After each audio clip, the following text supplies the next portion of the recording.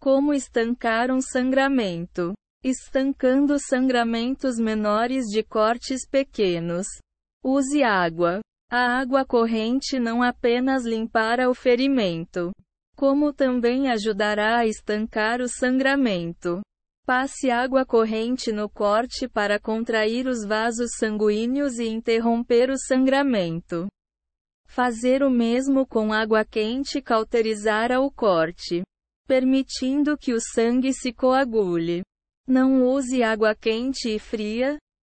Você só precisa de uma das duas.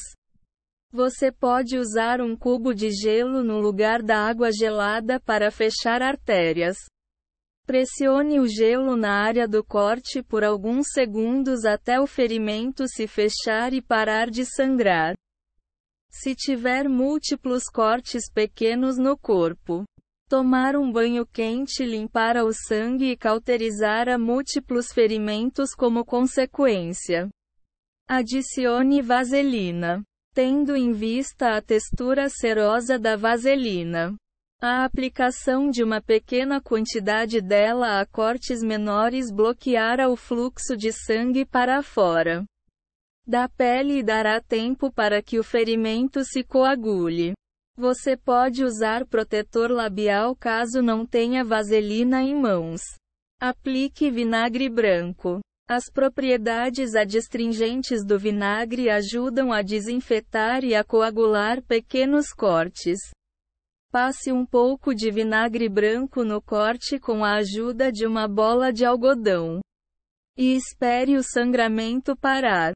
Experimente a mamelis.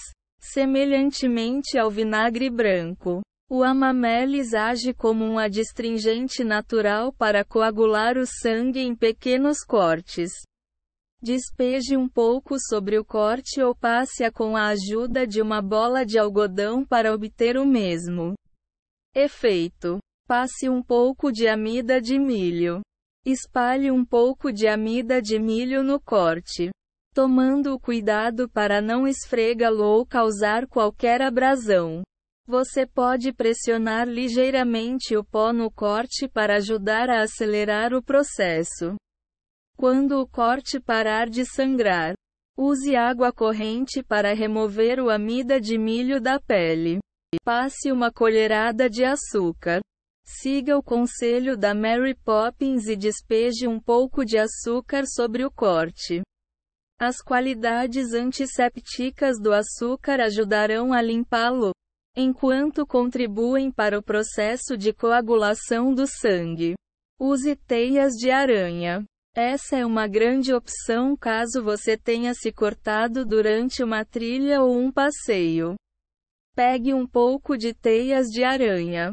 Solução grátis.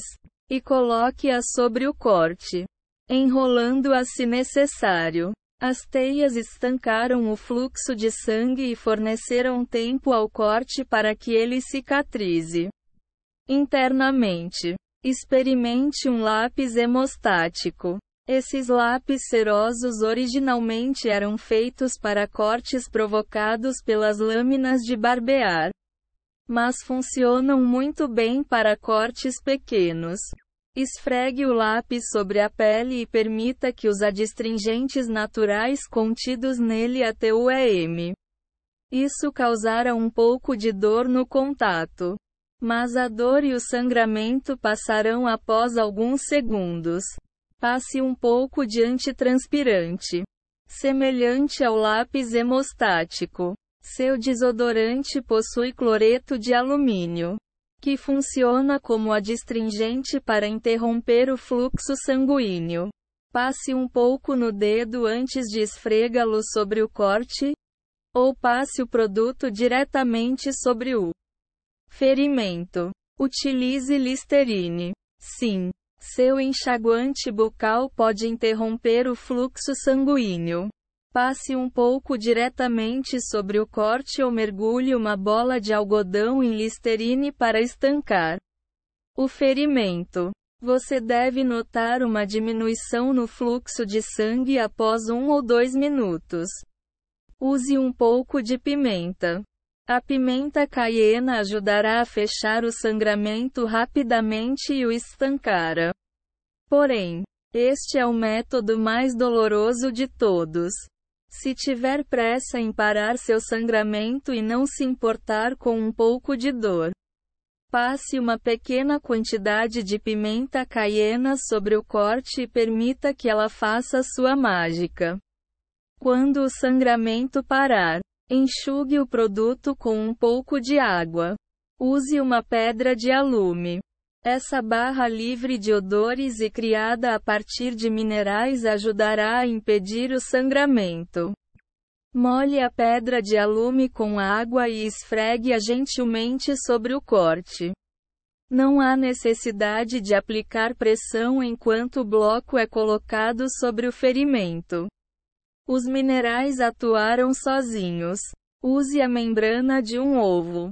Você conhece aquela membrana fílmica deixada no interior da casca após a quebra do ovo? Bem, essa substância ajuda a fechar cortes e fornece tempo ao seu corpo para que ele coagule o sangue. Remova a membrana do ovo. Tente usar o maior pedaço possível. E coloque-a sobre o corte. Dentro de alguns segundos, você notará uma interrupção no fluxo de sangue. Cubra o corte. Aplique um curativo esterilizado ou outro produto do gênero sobre o ferimento para manter fora qualquer sujeira e interromper novos sangramentos. Você pode usar um band-aid simples ou um pedaço de gaze limpo. Tratando ferimentos sérios. Deite-se. Será útil diminuir a probabilidade de choques caso você possa elevar as pernas ou posicionar a cabeça num nível menor que o tronco. Verifique a respiração e a circulação da vítima antes de proceder. Se necessário, chame uma ambulância imediatamente. Veja o artigo Tratar uma vítima em estado de choque para obter mais informações sobre como Reconhecer e administrar os sintomas do choque. Small URL. https www.wikihow.com barra images underscore em barra thumb barra 2 barra 29 barra stop ifen bleeding ifen step ifen 15 ifen version ifen 4.jpg V4 a 460 px stop bli. EDING step 15 version 4.jpg Big URL https www.wikihow.com barra images barra thumb barra 2 barra 29 barra stop ifen bleeding ifen step ifen 15 ifen version ifen 4.jpg v4 a 728 px stop bleed. Ng step 15 version 4.jpg small width. 460 small height 345 Big Width.